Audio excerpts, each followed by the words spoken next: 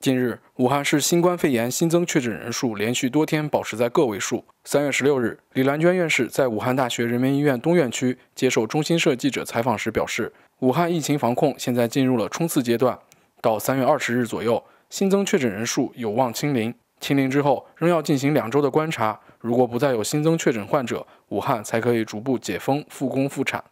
到二十号的中心这两天，呃，我们应该武汉的基本上新发感染的可以清零。清零以后呢，如果再观察这个两个星期吧，如果还是没有新发感染者啊，这个我想武汉的封城的问题来解决掉啊，这个恢复正常的工作和生生产生活。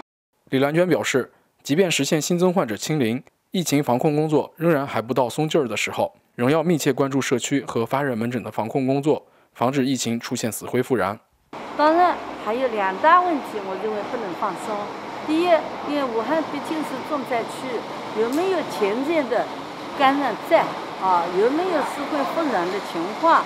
啊？所以社区的防控还要非常的小心，绝对不能放松。第二个呢，每个医院的发热门诊一定要。更加规范的开展，所有发热的病人都必须到发热门诊，啊，发热门诊都必须进呃流感包括新冠病毒的检测，啊，万一有阳性的，要及时的按照流行病学的要求隔离，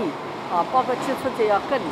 啊，发现一个隔离一个，啊，不要造成新的流行。另外，李兰娟还表示，要继续加强对重症患者的救治，不能放松，尽最大努力挽救重症患者的生命。目前，李兰娟院士带领团队采用四抗两平衡的治疗方法，利用人工肝、微生态、干细胞等新技术，成功将 ICU 患者的死亡率由原来的百分之八十以上降至百分之十五以下。处于细胞因子风暴早期的患者，经人工肝治疗后，存活率达到百分之百。如果是一个病人来，他在第七天。到第十二天啊，两个礼拜以内出现细胞因子风暴，我们统计了一下，我们这里应用人工肝救治的人，在这个早期细胞因子风暴早中期时光，我们几乎每一个人都是救过来的，啊，可以说是百分之一百都救过来了。呃，但是到两个星期以后的人，他这肺已经损毁掉了。就我一直主张，